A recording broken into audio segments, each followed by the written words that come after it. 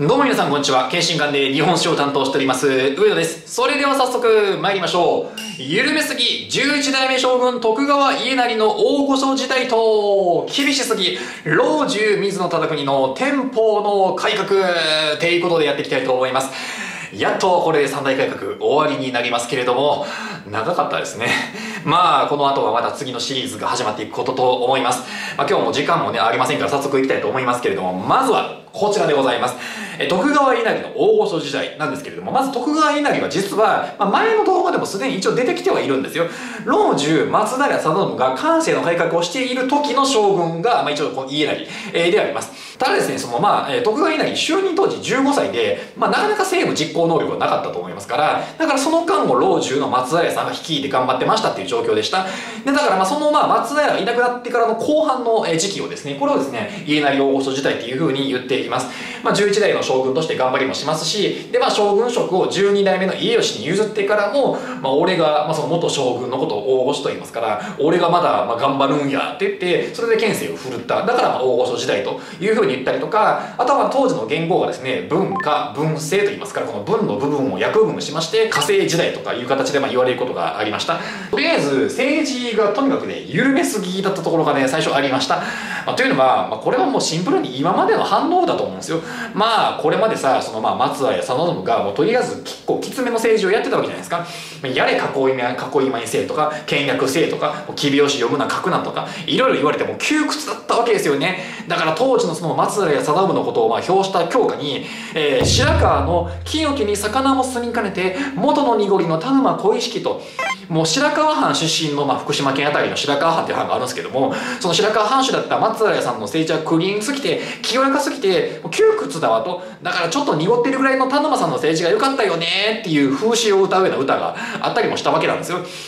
そんなこと言ってる歌をまあ読んでる皆さん。田沼のまあ子供を殺した佐野正子を世直し大名人言うてましたやんっていう、まあ、そういうツッコミはしたいんですけれども。だからその窮屈な中で、まあ、将軍も我慢してたんかもしれません。もう俺の俺が将軍やのになんで松平ばっかり俺も奇拍子読みたいしって言ってたら松平定信が孫悟一見でシュンって飛んでったんです。よっしゃ俺の時代やーってもう今までの鬱憤晴らし散らかしまくるかごとくこの緩めすぎる政治になってしまった。政治って言いますか特に最たる存在は大奥の発展ですよね。もう知ってますか？もうとりあえずもう奥さんたくさん子供も55人で子だくさんもう散々散財もう予算もご破産もうたくさんみたいな。形でとりあえずお金使いすぎました。そ55人子供おったら養育費かかりまくりますからね。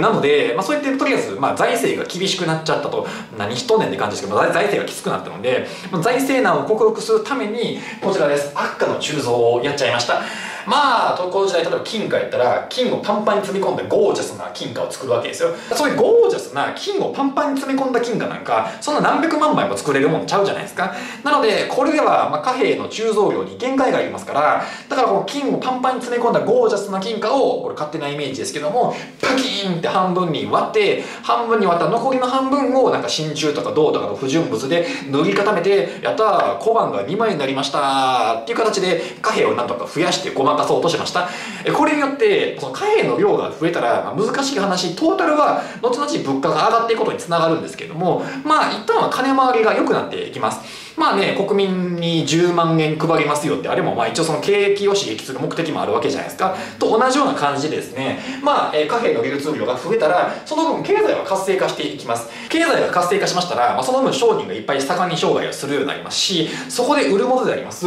綿織物とか、あとは絹織物が、綿織物の場合は大阪の周辺や尾張、絹織物に関しましては北関東。まあ、あの、北関東であの、群馬県とかあたりですけども、群馬って富岡製糸場がありません？富岡製糸場で作られる糸ってあれ結局その、生糸でありますから、絹織物の原料にもなるわけですよね。というものが、まあ、生産されるようになります。その生産方式も、今まで問屋製家内工業っていう、まあ、お家で作ったものを問屋さんに売ってもらうっていう形式だったものだったんですけども、工場製手工業とか、マニファクチュアと呼ばれるものに変わっていくようになります。まあ、だからその工場みたいな感じで、なんかまあ、物を作るんだったら、焼き物を作るでも、まあ、その織物を作るでもいいんですけども、様々な作業工程がありますよね。作業工程ごとに人を分けまして分担させましてそれで分業して協業しまして一つの製品を効率よく作っていく。それを大量に生産して売っていくことで富を得ていく。みたいな人もまあ増えるようになりましてこれでまあ経済が活性化。そして経済が活性化して人々が潤うからこそやれるのが文化の発展だと思うんですよ。だってさ全然お金ない時にさなんか新しいゲーム機買おうとかさなんかライブ行こうとかさ、えー、なんかその漫画買おうとか思わないと思うんですよ。やっぱある程度、まあ、資金的に余裕がある時だからこそ音楽のライブに行こうとかゲーム買おうとかできるわけじゃないですか。同じですよね。やっぱ景気が良くなってますからその分だけ文化も発展させる浮世絵とか書いてみようかなとか、まあ、そういうことができるわけですよね、まあ、そうやって火星文化というものが発展するようになりました。ただまあ文化につきましては今日は別に触れるつもりはありません。もし要望があればやりますけれどもただ問題としまして文化作品は著作権が絡んできますから動画で紹介できるか怪しい。むちゃくちゃ要望があったら何か考えますけども、まあ、もし何か文化不安やったら言ってください。ってところです。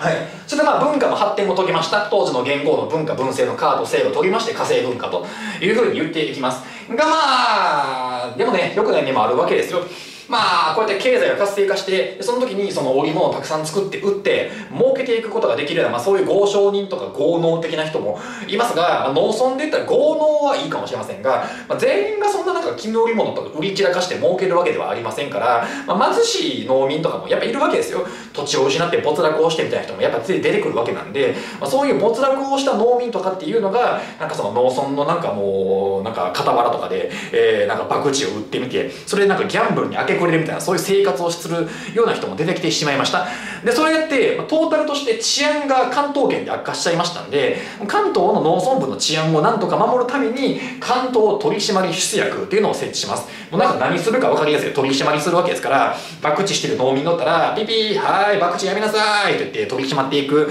ようなことをやる、まあ、関東警察みたいなことを置くわけでありました。まあそれがまあ言えない大御所時代のまあやったこと基本的なこと4つぐらいになります。が家なり大御所時代はそんなに別に重要性が高い単語って多くはないので今日はメインにこっちをやっていきたいですね。さあ、まあ、この動画シリーズ3大改革ですからやっぱりこの店舗の改革はしっかり見ておきたい。店舗の改革なんですけれどももうしつこいですけど改革っていうのは改革せなあかんぐらい世の中がやばいからやるもんなわけですよね。で今回はじゃあ何がやばいのかと。言うと、関西の改革の時は、まあ、なんか天命の基金がまあありましたとかね、まあ、飢饉だけでま基本住んでたところがありましたけれども、今回は基金だけじゃないんですよね。天保の基金、いやこれは基金ですが、もう一つ、列強の接近っていう、このもう一つのピンチも迫ってきています。この中での心配、内憂と、外への心配、外観、この2つをまあ表しまして、内憂外観っていう言葉が、え母術封じっていう水戸成明が書いた意見書の中に書かれていて、そこからは流行っていくといいますか、使われるようになってき,、えー、きました。ってところでございます。まあ飢饉はそれはまあいつも通りも例外で作物実らへんとかっていうところから始まっていくわけで農村もそれによって荒廃をしますし物価も上がってきますし非常にしんどくなってきたわけですよね。しかしそれに加えてなんか列強来とんでと。もう今まで俺たち付き合ってきたのはなんか朝鮮か琉球かなんか蝦夷地か清かオランダかみたいな感じだったんですけどもなんか言うたらなんか根室にラックスマンみたいなやつが来たりとか、えー、なんか長崎にレザノフ的なやつが来たりとかなんかレザノフ起こったからなんか文化の武術例出してみたらなんかイギリスの船フェイトン号が長崎でなんか近年乱暴狼藉を働きみたいなことがあってむちゃくちゃなんかイギリスとかなんか知らん国来とるやんけみたいなことになってるわけなんですよ。だからこの2つの対策をするみたいな面がですねこの店舗の改革にはあるというところでございます。まずやっぱりまあ厳しすぎっていうのがこれがポイントかなと思います。前が緩めすぎましたから、まあ、それの反動で厳しすぎるみたいな感じでもう全部厳しいですからね、まあ、まず倹約令だと。豪華なお菓子とか食ったらあかんとかもうそんなところまで言われるのかみたいな感じの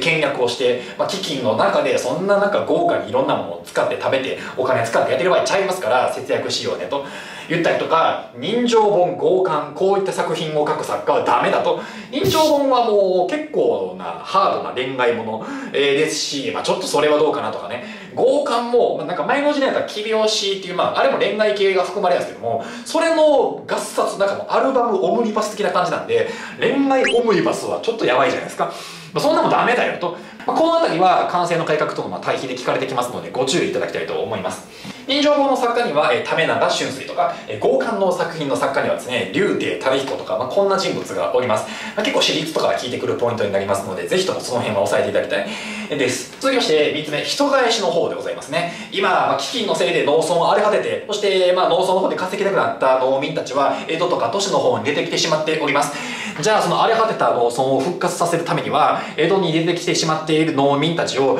まあ、農村の方に田舎に帰らせることを、これをしなければならないわけですよ。ただ、今の文脈って前回の動画でも出てきましたよね。完成の改革も、なんか、旧理機能例みたいなのやってましたよ。で、その旧理機能例と何がちゃうねんって言ったら、この緑の部分です。既存を強制させる。もう絶対に帰れっていう風に言っていくところがあります。旧理機能例は奨励でしたよね。帰った方がいいんじゃないですか？ぐらいの言い方にもなりますし、結構お金とかも出してくれたりするんですけども、もうとにかく帰れと。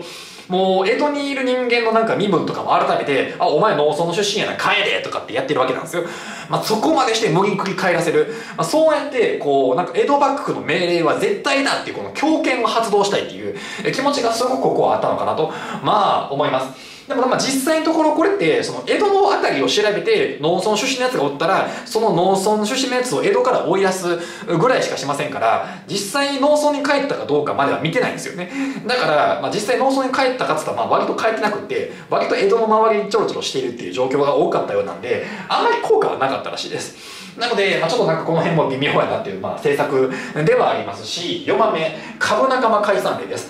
まあ、今さ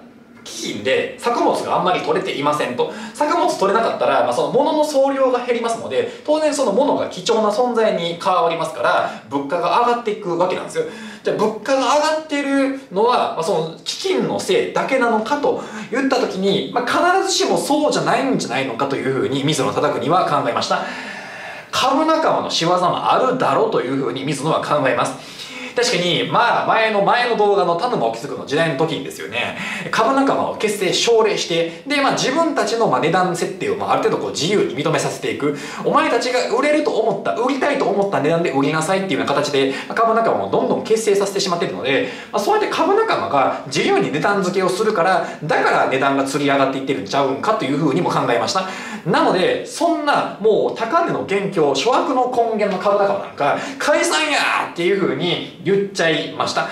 ただこれは逆効果だったというふうなところがあるらしいです。まあ、というのはですね株仲間っていうのがそのなんか農村の方からやってきた農作物とか、まあ、いろんな商品とかをこう集めてその株仲間が取り扱ってそれで売ってお店になんか仕入れてとかいう形でそれで物流を活性化させるっていうところをやってた分があったわけですよ。だからその株仲間っていういわばその心臓の部分を止めちゃうことで物流というその動脈静脈みたいなものが流れなくなりなんか物の流れが悪くなってしまったっていうところがありました。だから株仲間さんがあの引き取ってくれへんやったら江戸に商品持ってても無駄やんっていうふうにまあその商品を提供する人間思ってしまったらあんまり江戸の方に物が充実されず結果的に江戸の物の量が減り物価が上がるっていうことにつながっちゃったんですよ。なので株仲間が解散されたことによって江戸の物流が悪くなり江戸に物もあんまりやってこなくなり結果物価が上がってしまうというこの状況が起こっちゃったんでまあなんか3番目4番目あたりは本来の目的を全く叶えられてない感じがねしますよね。そして最後に5番目明智例、まあ、上智例という言い方をしますがこれが正直とどめなのかもしれないです。何のとどめっていうと江戸幕府のなんだろうな権威に対するとどめ。をさしちゃったのかなというところがあります。なんか前の時代からもさ打ち壊しが多発して打ち壊しが江戸で起こっているんだったらその江戸城にいる将軍は何をしとんねんということでまあ将軍とか幕府というものの権威が落ちてきてるところがあったっていうのは言いましたよね。それはまあこの時代もやっぱ同じでありまして、まあ、飢饉が起こっている。でまた物価上がってるわけですから打ち壊しもやはりまだ起こっているわけなんですよ。でまあ一揆とかも起こったりしておりまして、まあ、正直江戸幕府なんやねんともう全然事態に対処できてへんやんかっていう評価は割と広まりつつあるわけなんです。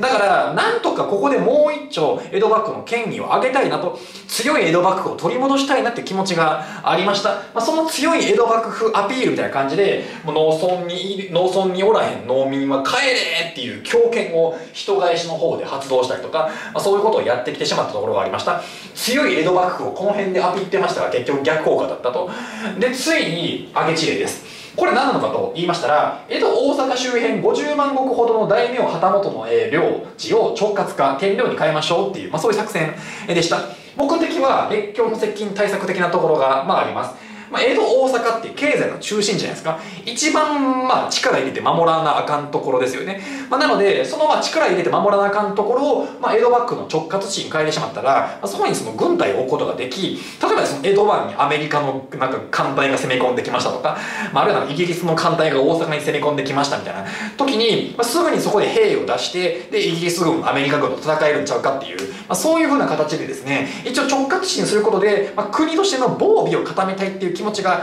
あったのもあります。ですけれどもまあ嫌やん江戸に住んでた大阪に住んでた大名や旗本からしましたらなんで土地を差し出さなあかんねんということで当然えげつないほどの猛反発を食らってしまいます。でその猛反発を食らってしまったことによって結局失敗に終わっちゃいました。だからもうさ大名に命令しても大名が反対したら江戸幕府はごめんなさいって言うしかなくなっちゃってるんですよ。これは江戸幕府落ちに落ちたなっていうふうに人々に印象を植え付けさせる出来事でもありましたし実はこういう話って初めてじゃないんですよ。実はこれのちょっと前に三方領地替えっていうあんまり入試に出ないんですけども出来事がありまして、まあ、3つの土地を治めてる大名に対してお前らちょっとローテーション制と。要はここにいる大名はここに引っ越してここにいた大名はこっちに引っ越してこっちにいた大名はこっちに引っ越しなさいっていうことをやろうとさせたんです。ただ、まあ、そこの地域住民とかあるいは大名からえげつないほど反発を食らいましてあそんなに反発するんやったらじゃあいいですって言ってその三方領地替え失敗してるんですよ。そんな感じで江戸幕府が、まあ、その大名に領地を変えなさい。これは憲法っていうんですけどもお命令してももう拒否される。ぐらいの出来事がこれのちょっと前に起こっていた。だからそれのなんか挽回の意味を込めて今回こそは俺たちの命令を聞かせるぞと江戸大阪近辺に住んでいる旗本あるいは大名土地を差し出せって言ったのに今回も嫌がられた。もう江戸幕府の命令誰が聞いてくれるのみたいなことに今回の5番目の上げ地例によってなっちゃった。そうして江戸幕府というものの権威が失墜し地面マントルめり込むぐらいになってしまったがゆえにもうダメだわと。江戸幕府に世の中任せてられへんは言うて実はこの時代ぐらいには例えば薩摩藩とか長州藩とかが反省改革っていうのを始めるようになります。もう要は自分の藩のピンチは自分の藩で何とかするわっていうそういうやる気のある、まあ、なんかベンチャー的な藩が出てきてそれでこの後の幕末で活躍するような、まあ、重要な藩がこの時に実は裏で着実に力をつけ始めているわけなんですね。さあそうしてこの憲法の改革1840年代に終わりを告げますがその10年後には裏側に開国してくださいってあの人が来るわけなんです。実は今回三大改革というものを通じまして江戸幕府という存在がいかにピンチに対抗しようとしたのかっていう、まあ、そういうふうな姿勢を示すと同時に江戸幕府という存在がいかにその権威を失墜させていきそして終焉へと歩みを進めていくのかそれを追いかけていく。そういう動画シリーズでも今回は実はあったわけなんですね、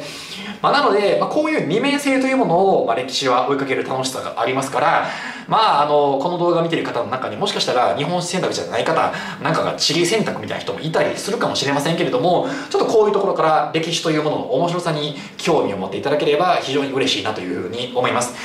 さあこんな感じで今回の動画は終わりになりますけれどももし今後こういう動画を撮ってほしいとかというリクエストがありましたら引き続きリクエストは受け付けておりますのでぜひともコメント欄の方で教えてください。じゃあ今回は終わりたいと思います。チャンネル登録高評価お願いします。ありがとうございました。